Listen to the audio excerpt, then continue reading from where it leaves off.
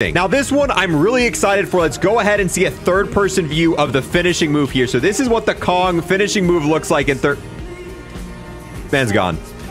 Man's gone. He went off the cliff. All right. Now, if we're the ones doing the finishing move. Okay, and now that I actually have it equipped, let's check it out this time. So we get and yeet, bro.